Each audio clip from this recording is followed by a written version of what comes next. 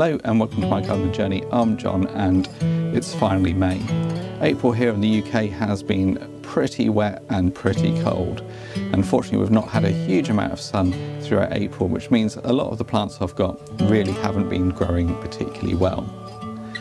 But now we're into May, the days are starting to get longer, the temperatures are rising and I'm hoping we shouldn't get too much rain. So in this video I'm going to give you five seeds that you can sow now for a really good harvest later in the year.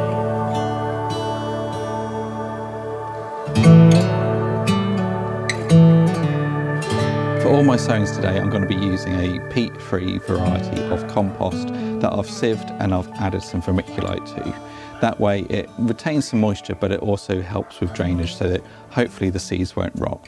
So the first seed I'm going to sow is courgette. Now courgette is a wonderful plant that grows really quickly and is quite prolific. I prefer baby courgettes rather than the full grown ones because they, they do turn into quite thick marrows if you leave them. But these are a wonderful addition to any kitchen garden. I'm not going to sow too many courgette seeds because like I said they grow pretty big pretty quick and they can produce a huge amount of fruit per plant. These seeds are pretty big. You can cut the ends off and some people say that that will help with germination, but to be honest, I've never had a problem with them.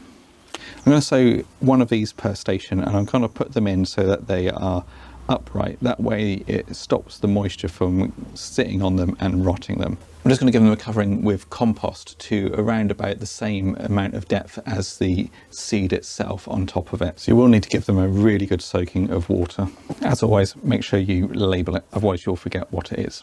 Next up is spinach beet, and this is a perpetual bolt hardy variety. Spinach is a really good addition to your kitchen garden because when you grow it at home and cut it and then cook with it straight away, you get all of those wonderful nutrients and flavour. With spinach, I'm going to be sowing several seeds per module, and that's just because I want to make sure I get germination in each of the modules.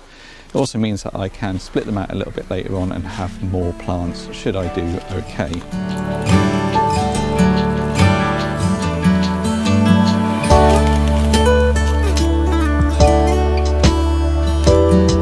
The other ones, make sure it's labelled. Luckily these are coming with labels so I don't need to make my own. Next up is something I like to grow, not because it saves me money, but because I love the taste of it, and that is sweet corn.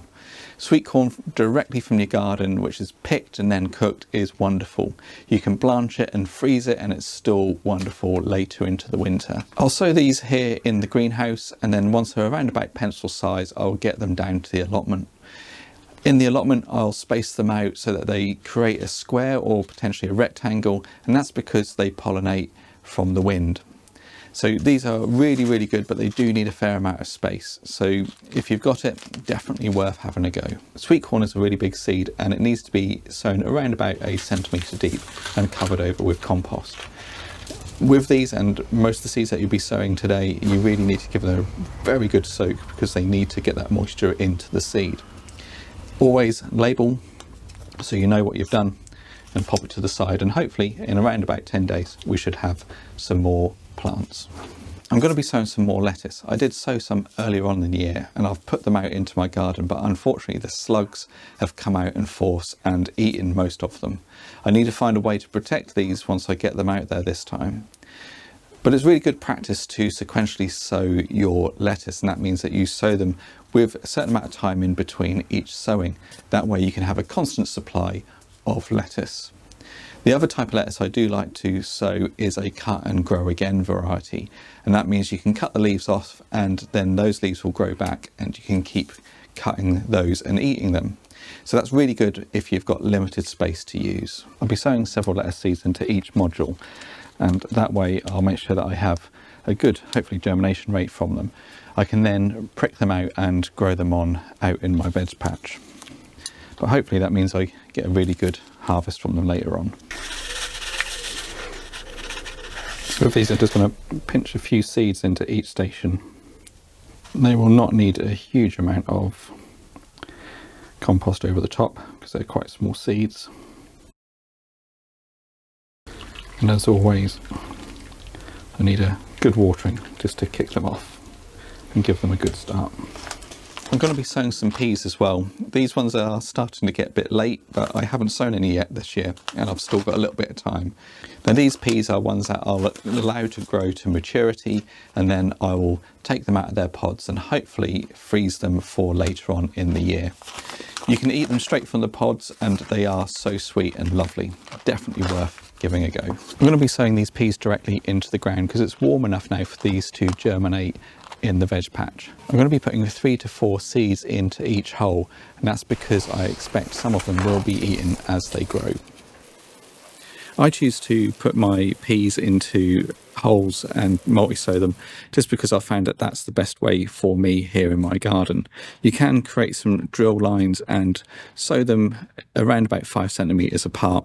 That can work and I have done that before but what I tend to find is that I lose seeds and I have spaces so this way I tend to get a really good germination rate and I fill the space quite nicely. So there are five seeds you can be sowing now. There are plenty of other seeds you can sow in May and definitely worth heading over to my blog and having a quick look at what else can be sown. This time of year there's plenty of warmth and the soil is starting to really warm up. So you can sow things directly into your veg patch this time of the year as well. So that's it for this week be really great to hear from you what you're sowing this time of the year because it will be different depending on where you are in the world. So leave a comment down below and I'd love to hear from you. If you haven't already, like and subscribe and I'll see you next time.